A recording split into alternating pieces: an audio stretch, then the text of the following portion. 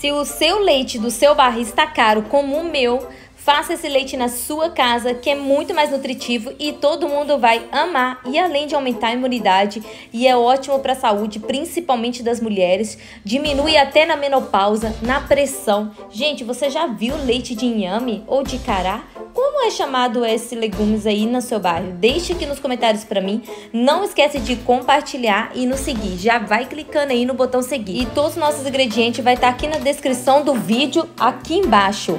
Então, gente, bora descascar todo esse cará. Se você tem alergia para descascar o cará ou inhame, como você quer ser chamado isso, e a sua mão fica coçando e coça até, eu vou te dar uma dica bacana, é só você descascar o cará e picar ele todo sem ao menos lavar, porque quando você lava o seu cará, ele solta um sumo, que esse sumo faz coçar. Então só lava ele na hora que você já for ou afogar ele ou fazer o seu leite. Aqui eu já vou colocar na minha tigelinha, já lavei o meu cará, vou levar no liquidificador agora com 700 ml de água e agora eu vou bater muito bem isso, porque eu quero meu leite bem grossinho.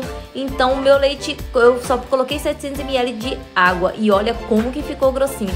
Como eu já tinha falado para vocês, vocês podem ter a opção de passar pela peneira ou um coador de papel ou um pano. Olha só como é que o nosso leite ficou bonito. Se você coar ele, vai ser melhor para você, pois assim o leite vai ficar mais lisinho. Se você quiser coar também num pano de prato, dá certo. Olha só, gente, que lindo que ficou. Só de olhar dá vontade de beber, né? Coloca uma açúcar, um adoçante e é só oferecer para todo mundo da sua casa. Se você tem alergia à lactose, o seu leite tá caro e você tá com problemas para comprar, é só você comprar três cará ou três inhame e fazer isso na sua casa e tomar com seu café, com Todd ou puro, fazer bolos, o jeito que você quiser. Gostou dessa dica? Gostou dessa receita? Deixe aqui nos comentários para mim. Não esqueça de compartilhar e nos seguir e até a próxima receita.